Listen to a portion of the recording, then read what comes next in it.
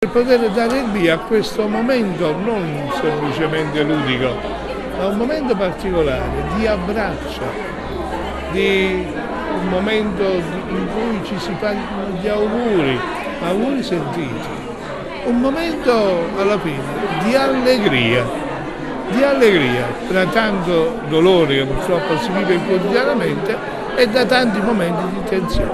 Messaggio che, che la ricerca ci può aiutare a sconfiggere il tumore e a Natale su, dobbiamo assolutamente fare in modo che questa speranza possa essere veramente forte no? per, le, per, le, persone che aiutiamo. Mi hai letto nel pensiero, eh. perché io poco fa ho detto questo, un luogo che sembra di dolore ma è anche di gioia e lo viviamo, lo vivremo. La gioia è perché ci si può prendere cura, ci, ci, si può prendere cura di noi stessi perché il nostro corpo si ammala, è vulnerabile, ma è importante avere le cure, le cure necessarie per poter riuscire ad aiutare le persone.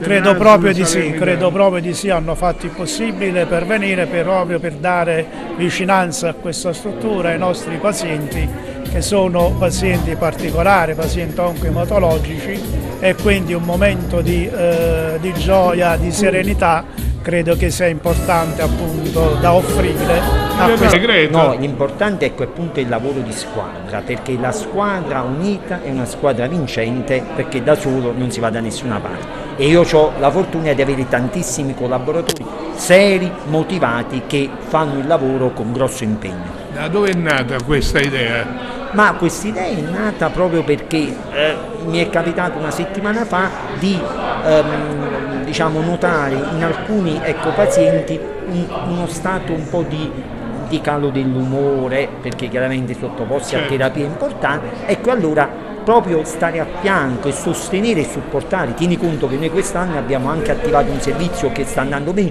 di psico-oncologia sì. e di nutrizione, perché il paziente oncologico non è soltanto trattare il paziente con la terapia, ma anche tutto il contorno. Parteciparvi perché è un reparto che non solo è fiore all'occhiello della città e dell'ospedale di, di Pagani, ha anche molti di questi momenti che servono molto anche psicologicamente certo. ai malati che stanno sostenendo una lura lotta contro il, il male, per cui questo momento di divertimento fa bene a tutti. Ce ne vorrebbero di più però. Eh? Ce ne vorrebbero di più, infatti eh, l'augurio che noi facciamo per Natale, per il nuovo anno e soprattutto nel, che i, i malati possano guarire, questo penso sia il migliore augurio che si possa fare per le festività natalizie.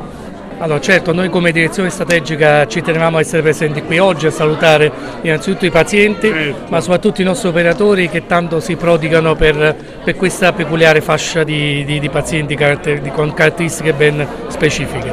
Un ringraziamento va dal dottor Di Lorenzo, il direttore dell'unità operativa, e a tutto il suo staff che ha permesso eh, tutto ciò è bello vedere il sorriso in un luogo dove quotidianamente purtroppo si piange. Sicuramente, allora sono, uh, ci sono dei giorni di sofferenza che devono comunque eh, provare questa particolare tipologia di pazienti, ma in, in, questi momenti goliardici abbiamo la possibilità di pensare ad altro e di pensare dei giorni di festa perché Natale è una festa particolare, è una festa che eh, sicuramente eh, produce sorrisi da parte di tutti al di là di questo momento, non voglio definirlo ludico, ma un momento di, di amicizia, di fratellanza. Spesso faccio la battuta Cristo si è fermato ad Eboli perché poi dopo oltre provare a reclutare personale è difficile. Qui non abbiamo grosse difficoltà eh, per recuperare medici eccellenze, eh, quindi possiamo ritenerci diciamo, alquanto fortunati, quindi le possibilità di crescere le vedo